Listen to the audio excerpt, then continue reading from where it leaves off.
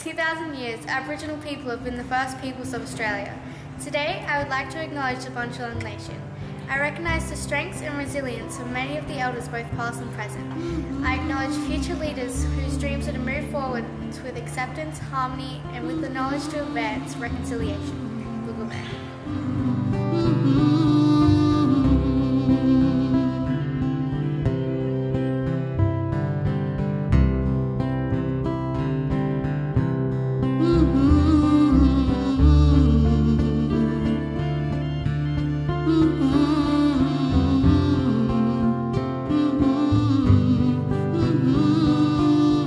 Hello High campus, Justin Hodges here, just wishing you guys uh, all the best, hope you guys are going well. Uh, also it's Reconciliation Week, so I'd like for you guys to get out there, teach the non-Indigenous people about our rich and proud culture uh, and be proud of being Aboriginal as Torres Strait Islander. Um, it's something that we should value, we should honour, uh, think about our elders, uh, older people who sacrificed so much for the life that we have today.